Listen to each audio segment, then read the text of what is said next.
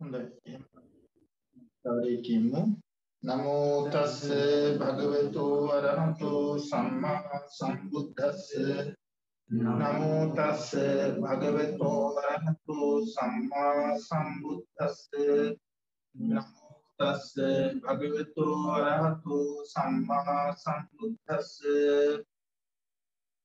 සියලු දෙනාටම තෙරුවන් සරණයි. අදත් අපි මේ සූදානම් වන්නේ අපේ සුපුරුදු අභිධර්ම පාඩම ආරම්භ කරන්න.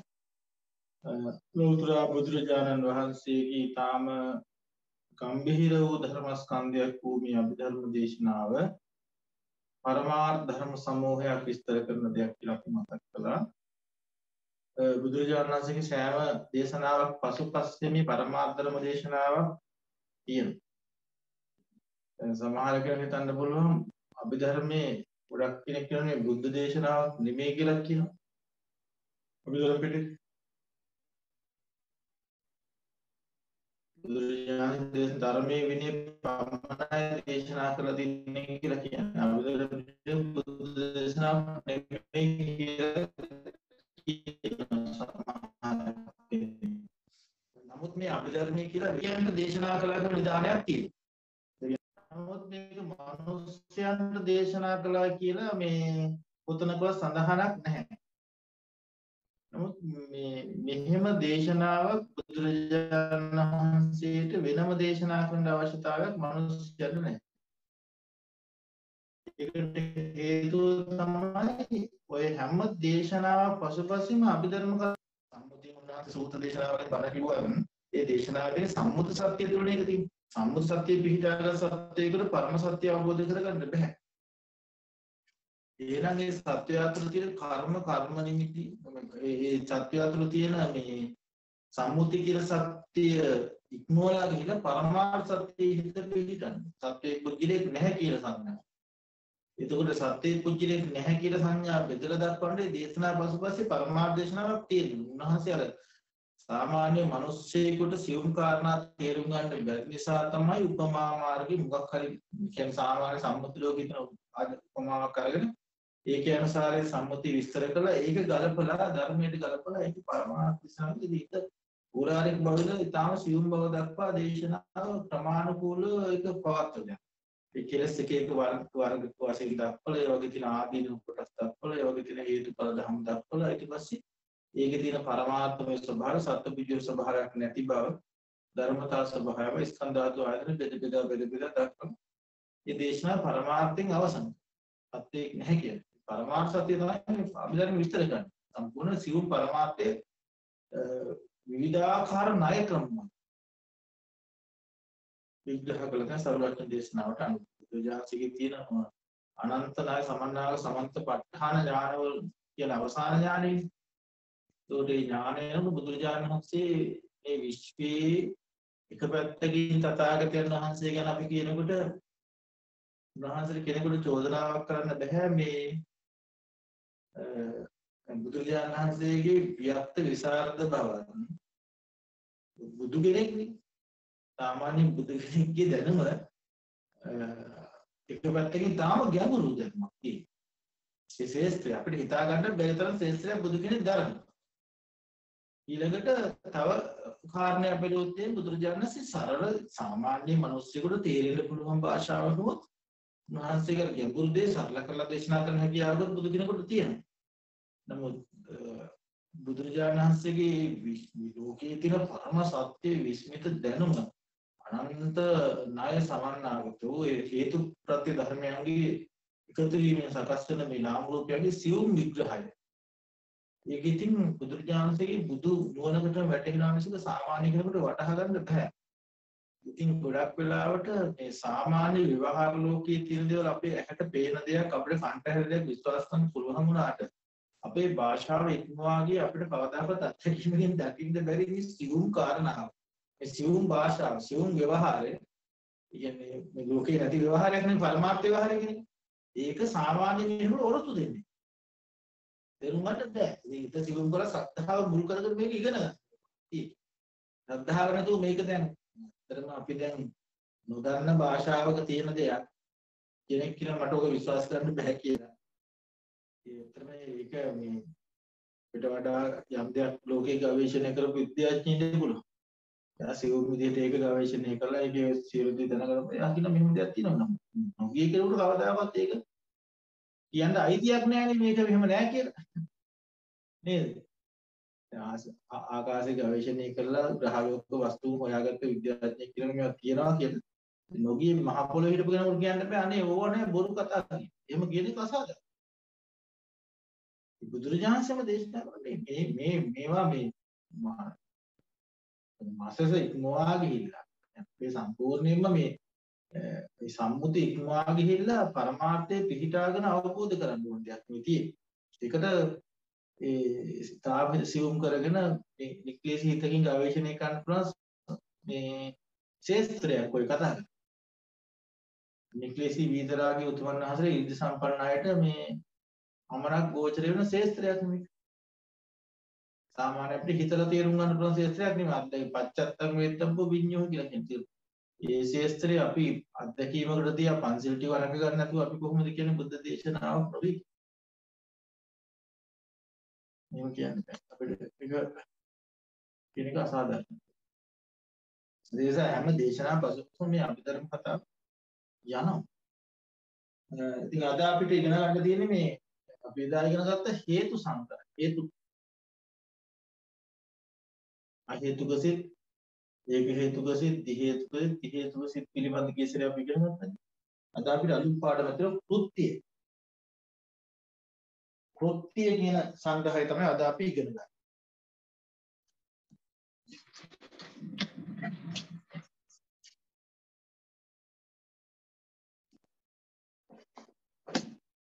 කෘත්‍ය සංග්‍රහය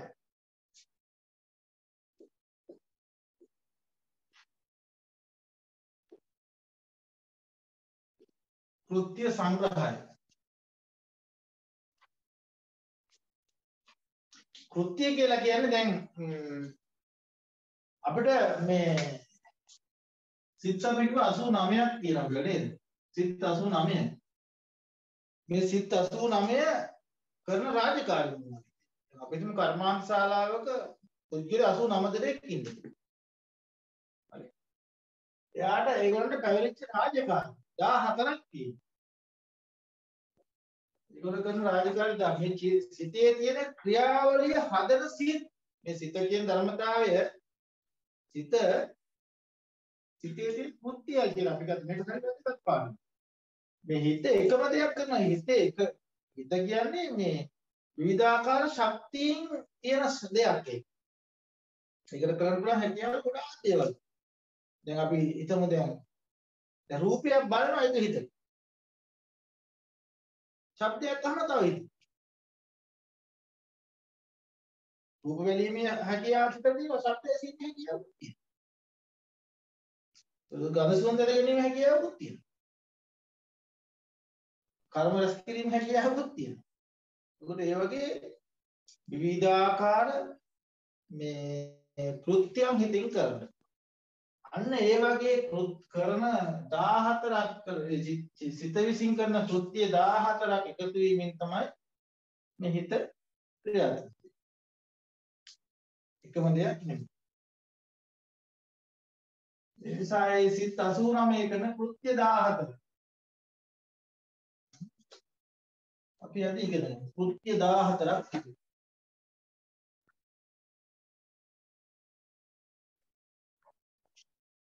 ඒකෙන් පළවෙනිද ප්‍රතිසන්දි කෘත්‍ය. ප්‍රති සන්දි කෘත්‍ය ප්‍රතිසන්දි ප්‍රතිසන්දිය කියලා කියන්නේ මොකක්ද? උත්පත්ති ලබා දෙන අලුත් අලුත් භවයක ඉපදීම සඳහා සිත් මේ ඉපදෙන්න පහළ වෙන සිත්. අලුත් භවයක ඉපදෙනකොට ඉස්සෙල්ලාම පහළ වෙන හිත දැන් මේ ජීවිතේ ඔයගොල්ලෝ ඇවිල්ලා පදිංචි වෙනකොට. ඇවිල්ලා පදිංචි වෙන පළවෙනි චිත්තක්ෂණය. ඒකට කියන්නේ ප්‍රතිසන්දි සිත් ප්‍රකෘති කරන සිත් කියලා. ඊළඟට දෙක. භවාංග කෘත්‍ය භවාංග කෘත්‍ය. ඒ කියන්නේ භවාංග කෘත්‍ය භවාංග කියන වචනේ මම අපි කලින් කියලා තියෙනවා ඔයගලට. මතකද ඒක? ප්‍රතිසන්දියෙන් පස්සේ අරමුණ පංචද්වාරය ආදී මනෝද්වාරය අරමුණ නැති වෙලාවට චිත්ත ප්‍රෝධය. ඒ සිත් පංචද්වාරය වැඩ කරන්නෙත් නෑ එතකොට මනෝද්වාරා වජ්ජන චිත් මනෝද්වාරය වැඩ කරන්නෙත් නෑ චිත් තද නින්දේ වගේ අරමුණෙන් අරමුණට මාරු වෙනවා ආදි වශයෙන් සිතේ මේ හිස්තම් පුරවන චිත්ත ප්‍රවෘත්ති හිස්තම් පුරවනවා මේ භවංග සිත්. තේරුණාද ඒ ප්‍රතිසන්දි ලබා දෙන සිතම තමයි භවංග කෘත්‍යත් කරගන්නේ. හරි? තුන. චුති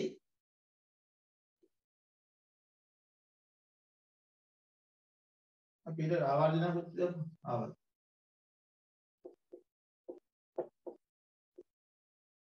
ආවර්ජන.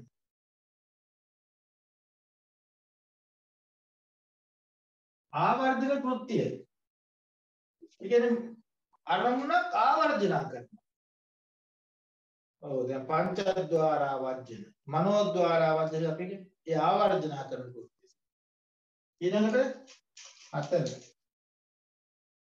දස්සන කෘත්‍යය දර්ශන කියලා කියනකොට දස්සන දර්ශන කියන්නේ පාළි දර්ශන කියන්නේ සිංහල. දර්ශන රූප දකින්න දකින්න සිත්. රූප රූප බලන කෘත්‍ය කරන සිත්. යන් පහ. සවන කෘත්‍ය සවන සවන කියන්නේ ශ්‍රවණය. ඇසීම ඇසීමේ කෘත්‍ය කරන සිත්. ශ්‍රවණ කෘත්‍ය. ගායන කෘත්‍ය. ගායන ගායන කියන්නේ ආග්‍රහණය කරනවා. ගඳ සුවඳ දැන ගැනීමේ කෘත්‍ය කරන සිත්.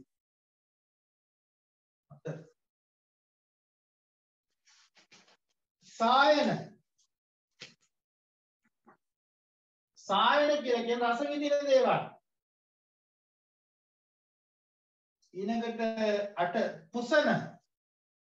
පුසන පුසන කෘත්‍ය කියලා කියන්නේ ස්පර්ශය කරන සිත්. ස්පර්ශය හඳුනා ගන්න සිත්. ඊළඟට නමය. සං පටිච්චන.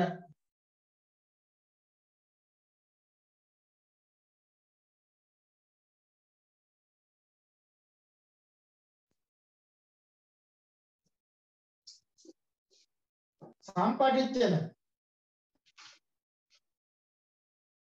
සම්පටිච්චන කෘත්‍ය කරන. 10 සම්තීරණ.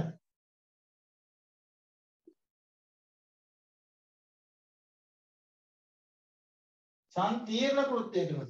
11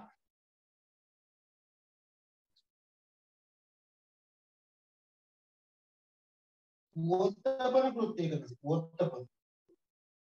වොත්තපන වොත්තපන වොත්තපන කෘත්‍යයකට ඊළඟට මම මෙතන ලියන්න එතන 11යි මෙතන 12 ජවන කෘත්‍ය. ජවන කෘත්‍ය. ජවන කෘත්‍ය 13 සාධාරණ කෘත්‍ය.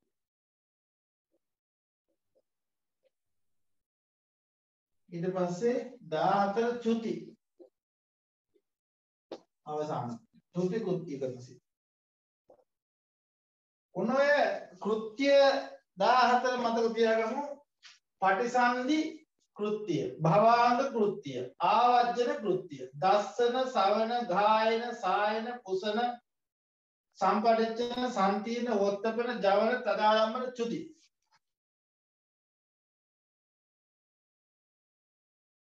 මේ සිත් 89 විසින් කරන කෘත්‍ය ටික මේ කියන්නේ. සමහර සිත් හැබැයි සමහර සිත් තියෙනවා එක කෘත්‍යයක් කරනවා සමහර සිත් තියෙන කෘත්‍ය දෙකක් කරනවා සමහර සිත් කෘත්‍ය තුනක් කරනවා කෘත්‍ය හතරක් කරනවා ආයතනයක වැඩ කරන මිනිස්සු වගේ තමයි සමහර කෙනෙක් කරන එකම රාජකාරිය.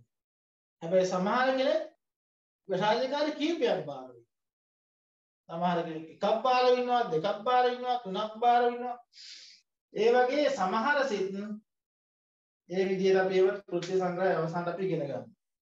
එක කෘත්‍යයක් කරන සිත් මොනවද? කෘත්‍ය දෙකක් කරන සිත් මොනවද? කෘත්‍ය තුනක් කරන සිත් මොනවද?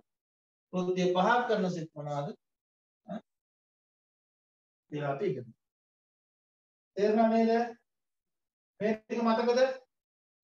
පටිසන්ධි භවාංග ආවර්ජන පටිසන්ධි භවාංග ආවර්ජන දස්සන සවන ගායන සායන කුසන සම්පරිච්ඡන සංකීර්ණ වෝත්කපන ජවන තදාගමන චුති. දැන් අපි ඔක්කොම දෙසි ප්‍රතිසන්ධි කුස්තිය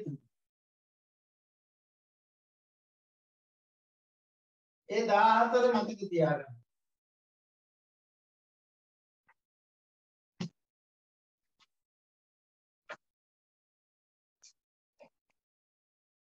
ප්‍රතිසන්ධි කෘත්‍ය. මොකක්ද මේ ප්‍රතිසන්ධිය කියලා කියන්නේ?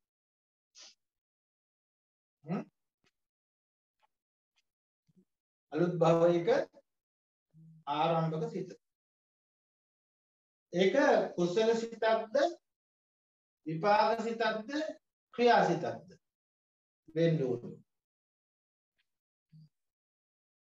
අලුත් අලුත් භවයක උපදින සිත කුසල සිතක්ද අකුසල සිතක්ද ක්‍රියා සිතක්ද විපාක හිතක්ද මොන හිතක් වෙන්නද විපාක. හිතක් වෙන්න. ඒ ප්‍රසන්දි කෘත්‍ය කරන සිත් විපාක සිත්. එහෙනම් අපි විපාක සිත් වල විපාක සිත් තමයි ඉගෙන ගන්න නේද? විපාක සිත් කීයක් තියෙනවද? අහේතුකවල විපාක සිත් තියෙනවා. හතක් ඒක තියෙන 15ක් අහේතුක විපාක 15ක් තියෙනවා. කුසල විපාක 8යි අකුසල විපාක 7යි අහේතුකවල. මහ විපාක සිත් 8ක් තියෙනවා.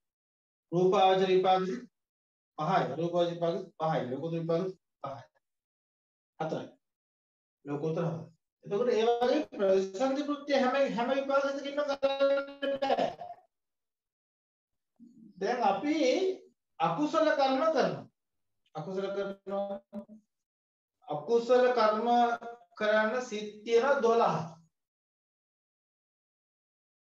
අකුසල සිත් 12. මතක තියාගන්න අකුසල 12 ගැන මතක් වෙන්න ඕන ඔයගොල්ලන්ට. නැත්නම් ඉස්සරහට යන්න බෑනේ. ලෝක මූල 8යි දෝෂ මූල 2යි. මෝහ මූලයේ තියෙන උපේක්ඛා සහගත උද්දච්ච සම්පයුක්ත සිතකි. අරගෙන මෝහ උපේක්ඛා සහගත උද්දච්ච සම්පවිත චිත්ත අන්තිම සිත්. ඒකට ප්‍රතිසන්දියක් ලබා දෙන්න බෑ. ඒක දුර්වලයි. ඒකට අපි කීයක් ඉතුරු වෙනවද? ඒ උද්දච්ච සම්පවිත හැර ඉතුරු සිත් 11. අකුසල සිත් 11. ඒ අකුස් ඒ සිත් 11න් යම් අකුසලයක් කළොත් එහෙම ඔයගොල්ලෝ හරි සෝමනස්සාදිට්ඨික සම්පවිත සංකාරිකෝ සංකාරික වෙන්න පුළුවන් සෝමනස්සාදිට්ඨික විප්පිත සංකාර සංකාර වෙන්න පුළුවන් උපේක්ඛාසාදිට්ඨික සම්පවිත සංකාර සංකාර උපේක්ඛාදිට්ඨික විප්පිත සංකාර සංකාර වෙන්න පුළුවන් සෝමනස්සාගේ පටිච්ච සම්පවිත සංකාර සංකාර වෙන්න පුළුවන් උපේක්ඛාසාදිත විචිකිච්ඡා සම්පවිතෙන් වෙන්න පුළුවන් ඒ 11 මම කිව්වේ ඒ 11න් යම්කිසි අකුසලයක් කළොත් විපාක වශයෙන් පහළ විපාක වශයෙන් ප්‍රතිසන්දි ලැබෙන්නේ. ඒතකොට මම කියත මොකක්ද හිතා? මොකද්ද? ඈ මොන මොන මොකද්ද ලැබෙන්නේ? ඒ අකුසල වලට ලැබෙන විපාක මොන අකුසල වලට ලැබෙන ප්‍රතිසන්දි මොන මොන මොන ප්‍රතිසන්දිද ලැබෙන්නේ? කොහෙද උපදින්නේ? අකුසලින් කොහෙද උපදින්නේ?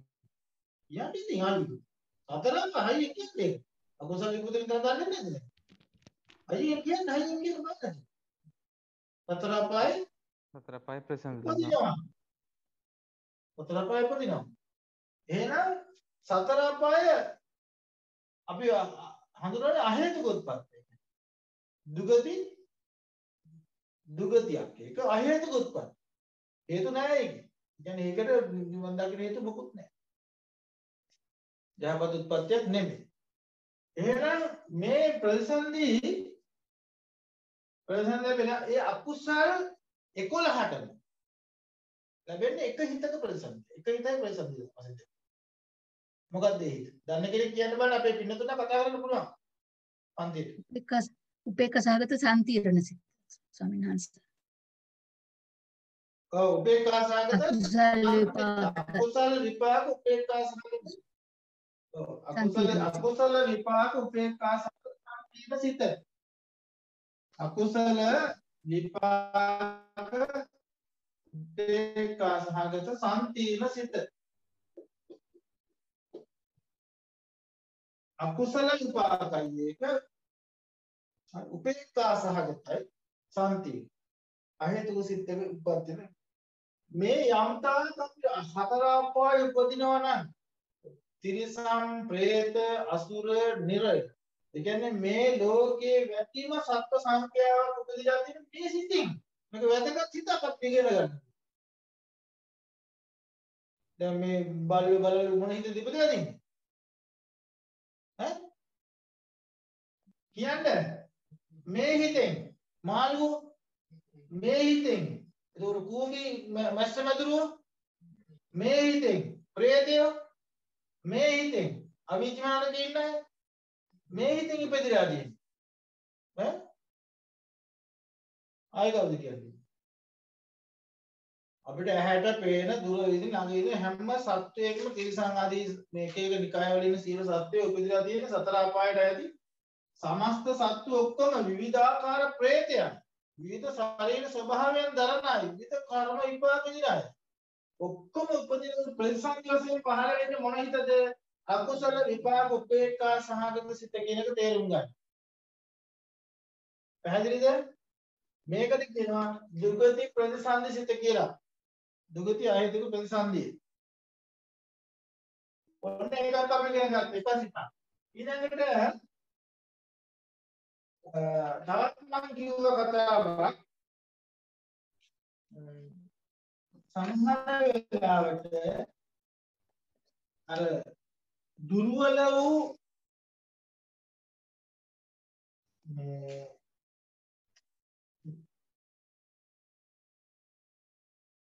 සමහරට අපි කුසලයක් කරනකොට කිසිම ආකාරයකින් මේ නුවණ මෙහෙවන්නේ නැහැ. මම අර එදා කිව්වේ නේ රාහුල කිව්වනේ.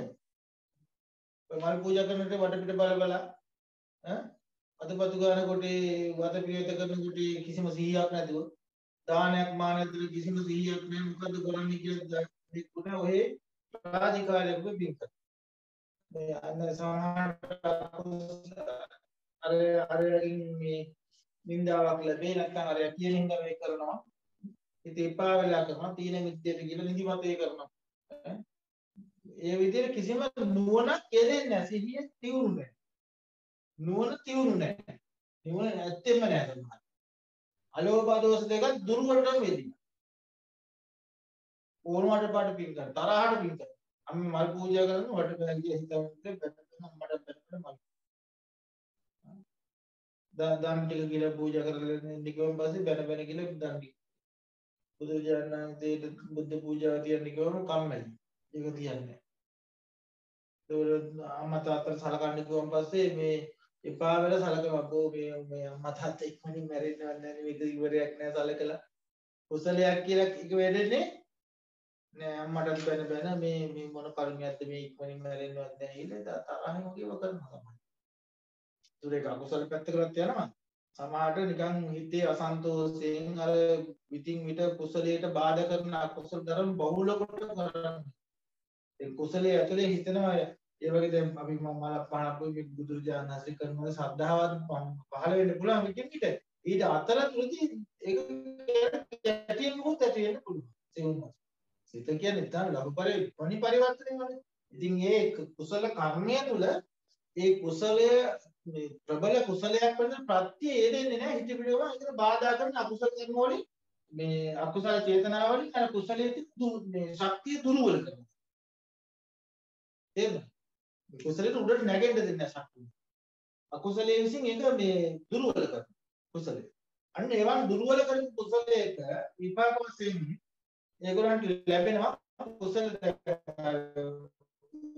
බුද්ධින උපේක්ඛා සහගත ඥාන විප්‍රයුක්ත අසං සසංකාරික වගේ සිත්වලින් ඥාන විප්‍රයුක්ත සසංකාර කවුරුහරි කියන බල කෑ- බල ක්‍රියාවට කරනවා. කම්මැලි කම නිකාම කරන්නම් වාඩි කරන ඥානෙකුත් නැහැ. දෙන්නෙම නැහැ. මෙයාට දැන් මේ ලා යන්තම් කරපු කුසලයක්. දුගතියකට දාන්නත් බෑ මේ මිනිහා. ඒ කුසලයක නිකලේ දුර්ගතියකට දාන්නත් මේ මිනිහට පුළුවන්. මේ තරාතිය බලන්නකො බඩු කිරනවා වගේ තමයි කර්ම. කම්මස්ස කෝමි කම්ම දායද කම්ම යෝනි කම්ම බන්දු කම්ම පටිසර කම්මං සත්‍යේ විභජති යදිදා හීනක් පණීත දැන් කර්මයේ විසි මේක බෙදන්න බෑද? ඒක හරියට මේ මේ කර්මයේ විසින් බැලන්ස් කරලා බෙදන්න ඕනේ යාත් මේක කරලා තියෙන කුසලේ මූට දැන් නුවණ ඉදිරියට නෑ හරියට අලෝභයත් නෑ. අද මෙයාට සුදුසු ලෝකෙකට ගිහින් දාන්න මේ කොහෙද සුදුසු ලෝකේ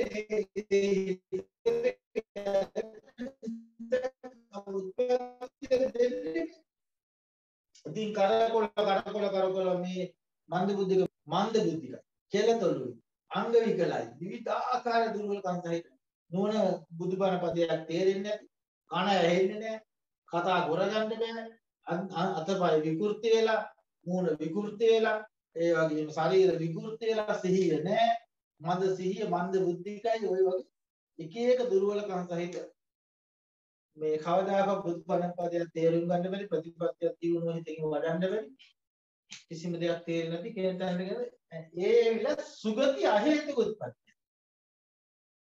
ඒ සුගති අහේතුක උත්පත්තිය දෙන්නේ ඒ අහේතුක උත්පත්තියකට අහේතුක සිතකේ බල දෙන්නේ. ඒ වගේ උත්පත්තියනේ මොන මොන හිතින්ද? අහේතුක කුසල විපාක විප- කුසල විපාක. කුසල විපාක ඔව් අහේතුක කුසල විපාක.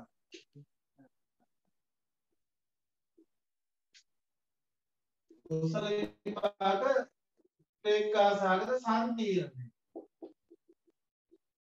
දොර සිත් දෙකයි. මේ මේ සිතේ මේ ඔන්න දැන් මේ මේ සිත් දෙක මේ සම්පීර්ණ සිත් දෙක උපේ අකුසල විපාක සම්පීර්ණ සිතයි කුසල විපාක සම්පීර්ණ සිතයි. දෙකයි නේ මේ දෙකම මොනවද අහේතුක සිත් දෙකක්. ඒකට අපි එක නමක් කියනවා අහේතුක ප්‍රතිසන්දි යුගලය කියලා. අපි කලිමුත් මතක් කළා ඔය සිත් ගැන කතා කරනකොට ඈ මේ මතක නැහැනේ ඒකනේ ප්‍රධාන දේ කියලා දුන්නත් මතක මේක මතක තියාගන්න දැන් ඒකනේ ප්‍රායෝගික ජීවිතයේදී ඔයගොල්ලෝ මේ ධර්ම යොදා ගන්න නැති එකේ විපාක තමයි තියෙන්නේ දිරිසන් සතේ දැක්කම අපිට මතක් වෙන මේක ඉපදලා තියෙන්නේ මෙන්න මේ හිතෙන් කියන්නේ මේ හිත භාවිතය වෙන්නේ නැහැ තමන්ගේ ප්‍රායෝගික අත්දැකීම් කෙලතුරු මිනිහෙක් මන්ද බුද්ධික මිනිස්සෙක් දැක්කම ඒ ඒ මිනිස්සයා ඉපදුන කර්මය අපිට සිහි වෙන්න ඕනේ. දේවදූත සූත්‍රය වගේ. අනේ ආවෝ මේ වගේ දැකලා ඊතර පොත කිලමුර දෙන්නේ. ඒ වගේ දුර්වල මිනිස්සෙක් දැක්කම හිතන්න මිත්‍රි සංසද දැක්කම හිතන්න මොකද කිව්වේ? අනේ මම 10000 වාර ගණන් මේ වගේ ආත්මවල ඉපදිලා ඇති. ඈ? ඒ සංවේගී උපදවා ගන්න බෑ සංසාරේ අද මට මේ දුර්ලභ බුද්ධෝත්පාද කාලේ මිනිස්සු පිළිච්චෙක් වෙලා මේ ගුණ පුරන් ලැබුණ කොච්චර ලාභයද තිරසන් සත දැක්කරපගේ තන්නෝන අනේ මේ තිරසන් සතා කොච්චර කාලයක් සංසාර දුක මමත් මේ වගේ සසරේ සැලසෙන්න ඇති මමත් ඔය වගේ ආත්මයකම ජීවත් වෙන්න බල්ලෙක් බල්ලෙක් බල්ලෙක් කියලා. අද පක්ෂියෙක් කියලා කූරු කුරා කුඹියෙක් කියලා මැසි මදුරුවෙක් කියලා මැස්සෙක් කියලා මාත් ඉන්නේ මේ සංසාරේ වුණ තරම් කාලයක් එහෙනම් ඒ මේ මේ දැන් මේ වගේ චරිත දැක්කම ඔයගොල්ලෝ හිතන්නේ නැද්ද?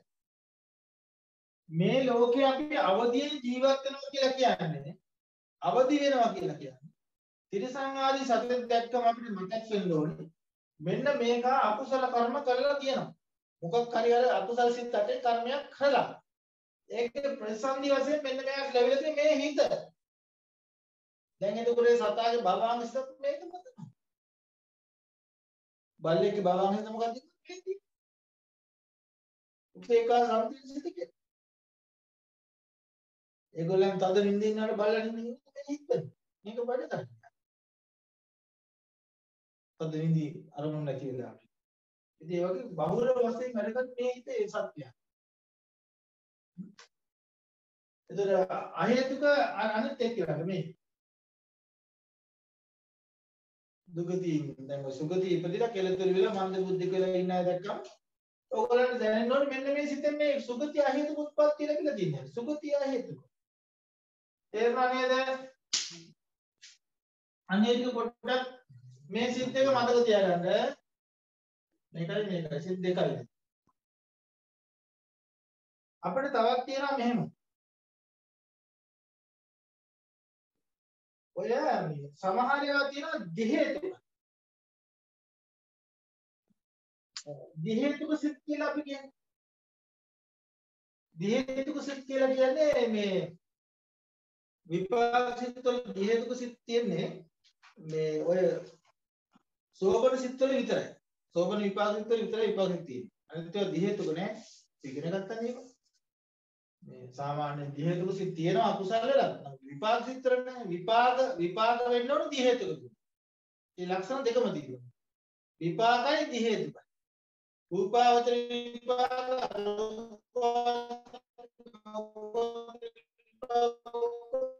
දී හේතුක සංඛ්‍යාව තේරුණානේ දී හේතුක සිත් තියෙන්නේ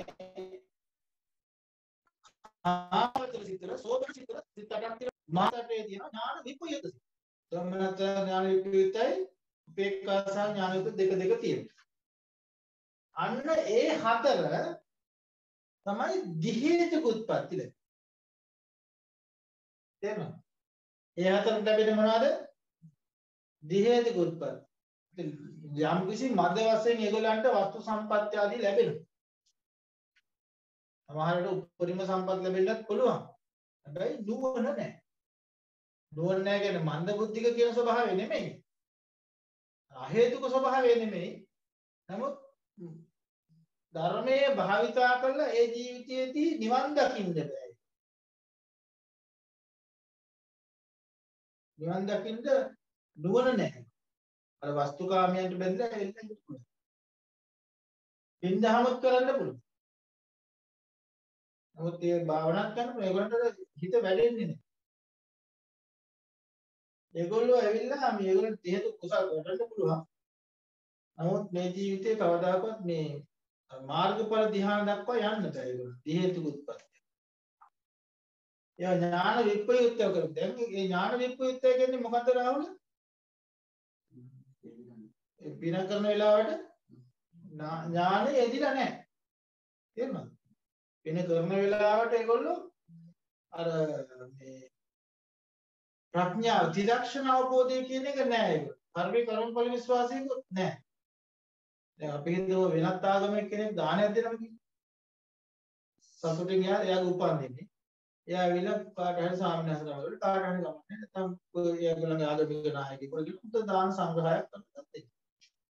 එයාට ඒකෙන් නිවන් දකින්න බලාපොරොත්තු මොකක් කම්මසල ඥානයක්වත් ඒ මොකුත් නැහැ. සතුටෙන් දෙනවා. එයාට විපාක ලැබෙනවා. සතුටින් දෙනවා. අලෝභයේ ආදේශය තියෙනවා. ඒ අමෝහේ නැති ලක්ෂණේ වැටහීමක්වත් නාම රූපයන්ගේ අනිත්‍යය මෙහි කිරීමක්වත් ඒ කුසලයේ විදර්ශනාවට හැරවීමක්වත් ඒක ස්කන්ධ ධාතු ආයතන ස්වභාවයන් දැක බලා ගැනීමක්වත් විදර්ශනා ප්‍රඥාවක්වත් එයාට පිළිගන්නේ නැහැ කුසලයේ. එහෙනම් ඒවා ඇවිල්ලා ඥානෙ ඒගොල්ලෝ තමයි ලස්සට උත්පත්ති ලබන හැබැයි නුවණ. බුදු කෙනෙක් පහළලා බණ කිව්වත් තේරෙන්නේ. ඒ කියන්නේ බුදුරජාණන් කියන පද පරම කියන.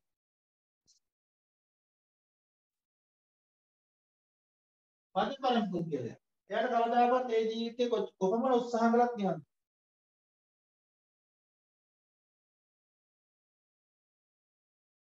තේරුණාද? එහෙනම් අපි ඒකත් ලියමු දිහේතුක උත්පත්ති ලබා දෙන මේ ඥාන විප්‍රයුක්ත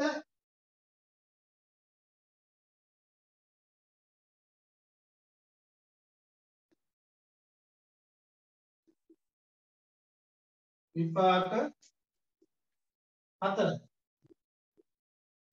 ඥාන විප්‍රයුක්ත විපාක ඒවා ඒවා දිහේතුකයි ඒවට ලැබෙන දිහේතුක උත්පත්ති ඒ සිත් කොට ඒ සිත් හතර ලැබෙන්නේ දී හේතු උත්පත්ති. අ මේ සිත් අර අනිත් ඒවාට ලැබෙන්නේ අකුසල වලට ලැබෙන්නේ මේ මේ අහේතු උත්පත්ති.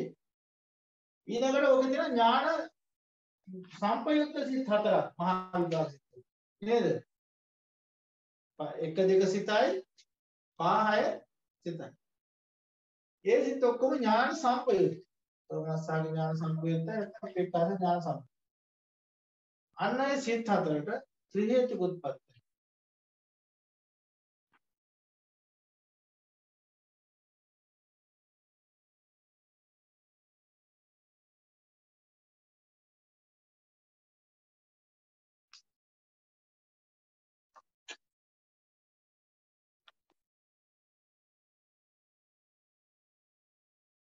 හැබැයි සමහර විට මෙහෙම වෙන්නත් පුළුවන් මේ සමහර විට මේ සමහර විට ඉතින් දැන් අර මේ මේ මේ කර්ම විනිශ්චයේදී දැන් අපි හිතමු කුසල කර්මයක් කළා දානයක් දුන්නා මුලදී කර්මයේ කර්මඵල විශ්වාස කළා. ඒක මත වශයෙන් යෙදුනේ.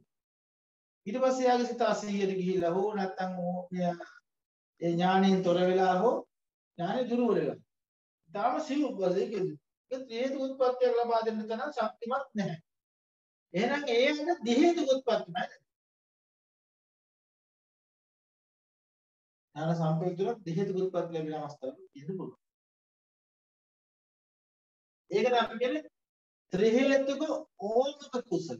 ත්‍රි හේතුක ඕමක කුසලයෙන් දිහේතු උත්පත්තියක් ලැබෙනවා. ඊළඟට ඥාන සම්පයුක්ත. විපාක හතරයි. ඥාන සම්පයුක්ත විපාක හතරයි. මෙතන මහා විපාක අට මේ තියෙන්නේ. මහා විපාක අට. මොකද මේ මම මේ කැලියට කඩලා දැක්කේ. මේ මහා විපාක. දැන් ඊළඟට මහග්ගත විපාක. මහක්ගත කියලා වචනේ කියනකොට ඔයගොල්ලෝ මතක් කරගන්න මොනවද මහක්ගත කියන්නේ කියන්නේ? රූපාවචර හා අරූපාව සිත් වල අපි එක වචනයක් කියන මහක්ගත සිත් කිය. මම කලින් කියලා දීලා තියෙනවා. මහක්ගත විපාක කිව්වම කීයක් ගන්න පුළුවන්ද? නවයක් ගන්න පුළුවන්. කුසල රූපාවචර පහයි අරූපාවචර හතර. මහක්ගත විපාක.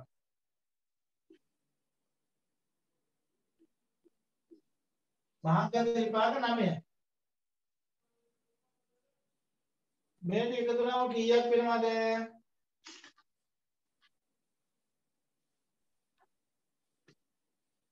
අහේතුක ප්‍රතිසන්දි විපරය කියන දෙකක් සිත් තියෙනවා මෙතන. මේකට කියන්නේ අහේතුක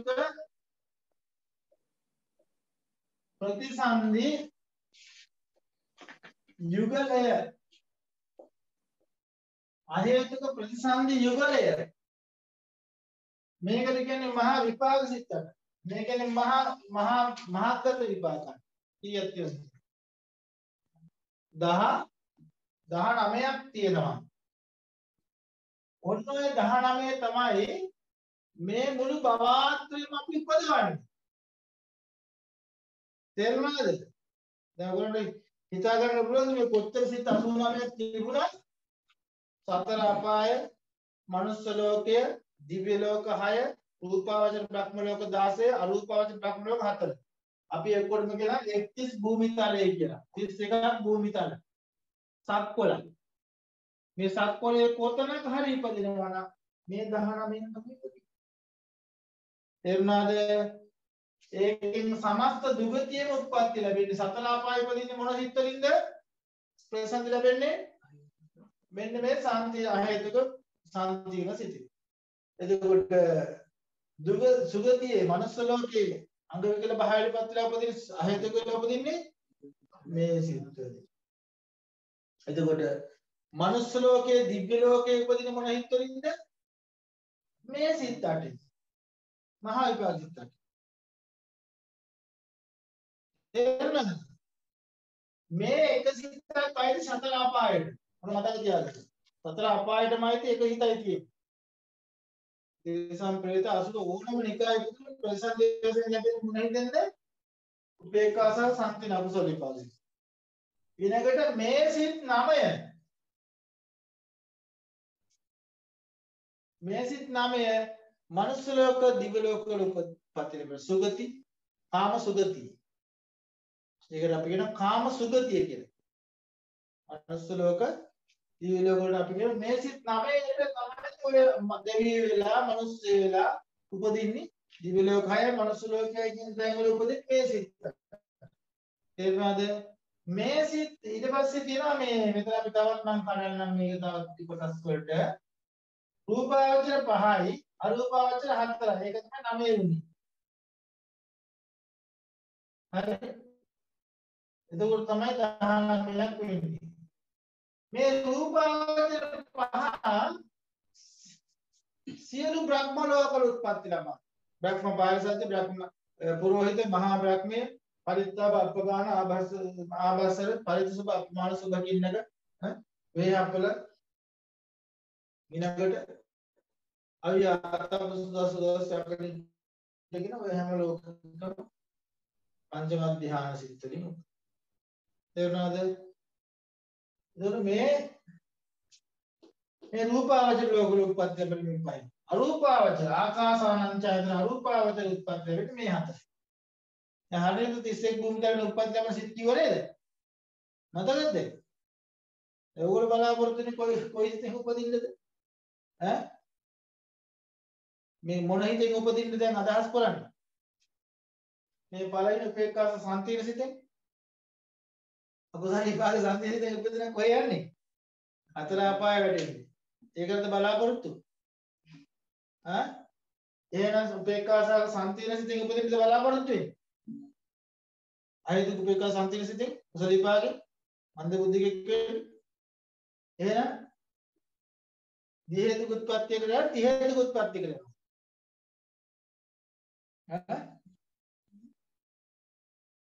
කරනවා දිහේතු උත්පත්ති කරනවාද තිහේතු උත්පත්ති කරනවා තිහේතු උත්පත්ති කරනවා එහෙනම් මේ හතරෙන් උපදින්නේ ඥාන සම්පේසිතෙන් උපදින්නේ බලාපොරොත්තු මරණකොට ඉරතරා හිත දියුණු කර භාවනා කරගත්තොත් ධ්‍යාන උපදවාගත්තොත් මෙන්න මේ හිතෙන් යන්න පුළුවන්. ඒ භාවනාව තවත් දියුණු කරගත්තොත් මේ හිතෙන් යන්න පුළුවන්. රූප තලෙ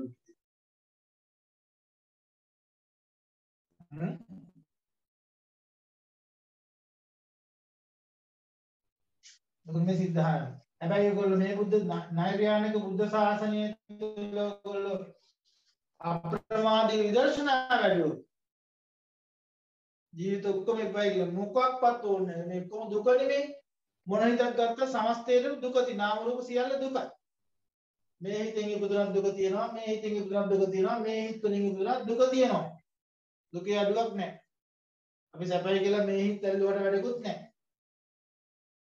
තේරුණාද? තේරුණාද? මේ හිත තුලින් ඇල්ලුවට කම වැඩකුත් නැහැ. කතා කරන්නේ මොනවද කතා කරන්නේ? සම්පූර්ණ. මේ කියන එක තේරෙන්නේ නැහැ ඒතර මේ මේ මේ හිත තුලින් ඉපදුනත් දුක තියෙනවා. මේ හිත අතෙන් ඉපදුනත් දුක තියෙනවා. මේ මේකේ ඉපදුනත් දුක මේකේ ඉපදුනත් දුක.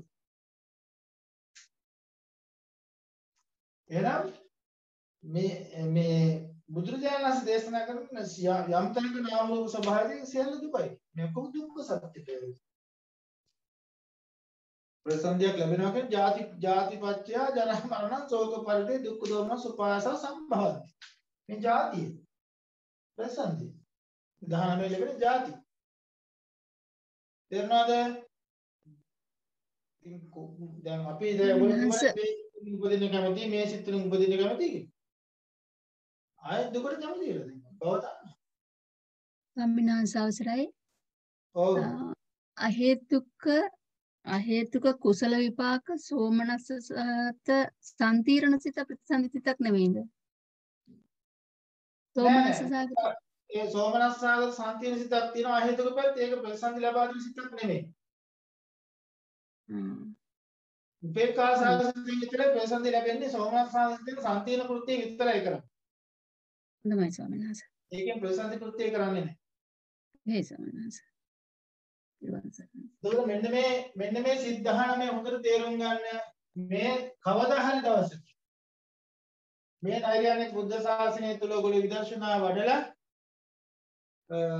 සෝවාන් සකදාගාම අනාගාමී අරියත් මාර්ගඵල ලැබු දවසක මෙන්න මේ සිත් එකක්වත් පහළ වෙන්නේ නැහැ. මරණයෙන් පස්සේ. දැන් චුතියට අනුතර මේ සිත් පහළ වෙනක නවත්තන්න බැහැ.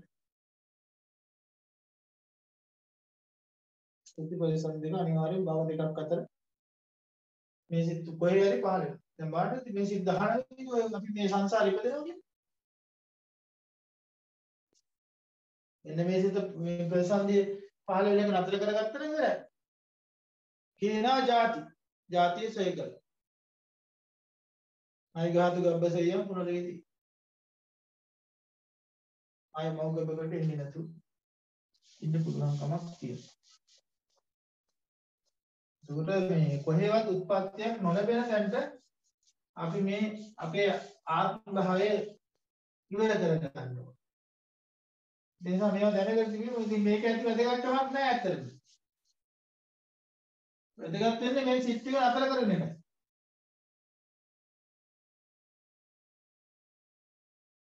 මේ සිත් නතර කරන්න නම් මේ සිත් ඇති වෙන කර්ම ටික නතර කරන්න. පාක සිත් ටික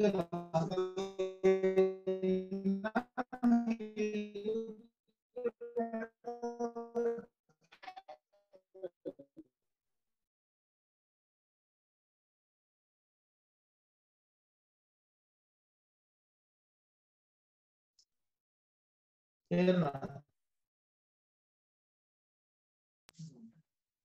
තාම මේක කරගන්න තියෙන්නේ. කුඩේ දාන්තර අපි දාන්නේ සිත් ටික. දැන් දැන් දැන් දනවනේ සුමිතලාට ඔය සත්‍ය සත්‍ය දැක්කොත් මේක මතක් වෙනවා. ප්‍රායෝගික ජීවිතයේදී මේ සත්‍යය මොකෙන්ද මේ ඉපදිලා තියෙන්නේ කියලා කියන්න පුළුවන්. නේද?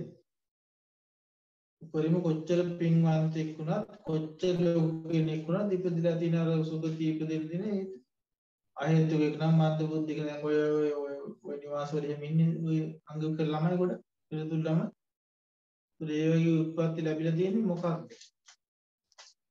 කුසලේ හරියට කරපු නැති එක විපාකනේ ඕනකට එකපාරට කුසල් කරලා.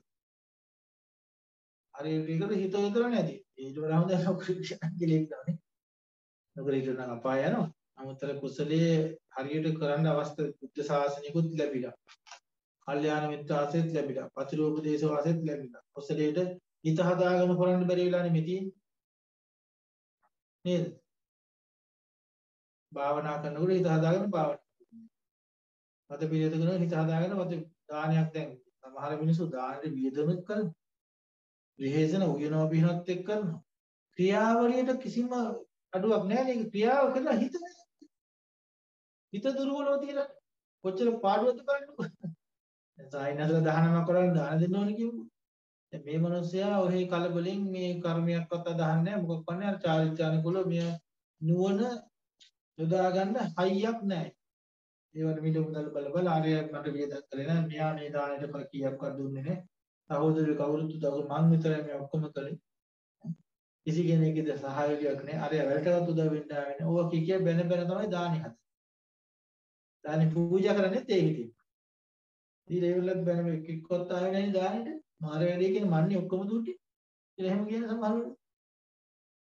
සමහර ඒ ඒ දාන ගැන අසන්තෝෂෙන් තරහින් කරන සමහර අනිත් පැත්තේ ගැටීමෙන් කරනවා.